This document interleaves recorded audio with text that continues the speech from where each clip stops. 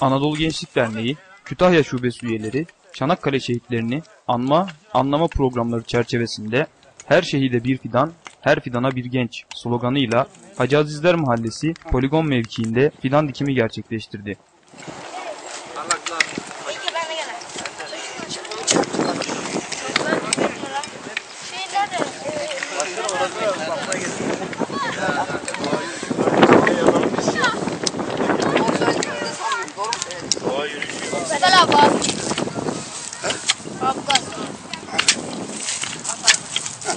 Çok çocuklar.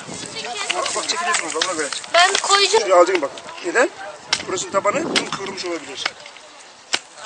Koy bakayım kendin.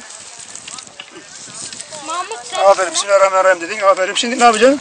Şuralardan taze bak ç- çeleden at pamçına. Islaklardan. Şuralardan. Şimdi buralardan topladan Ben buralardan yapayım içine.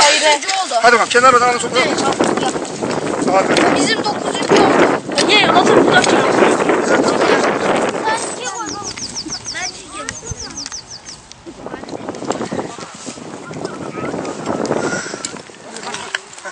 Taş. Taşları alacağım ben böyle. Şöyle alacağım ben taşları.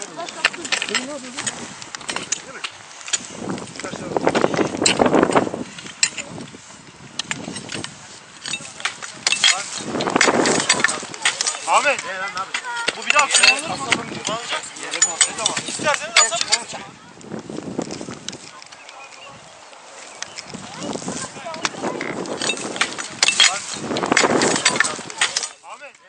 Anadolu Gençlik Derneği Kütahya Şube Başkanı Erol Taşkın yaptığı açıklamada Çanakkale şehitlerimizi anma, anlama programları çerçevesinde ülke genelinde 250 bin şehidimiz için 250 bin gencimiz fidan dikimi gerçekleştiriyor.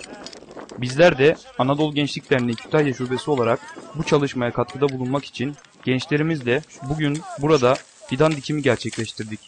İnşallah bu programa katılan, katılamayan tüm gençlerimizle birlikte 17 Nisan'da Çanakkale'de olacak evet, ve bir kez daha aziz şehitlerimizi kabirleri başlarında rahmet ve minnetle anmış olacağız dedi.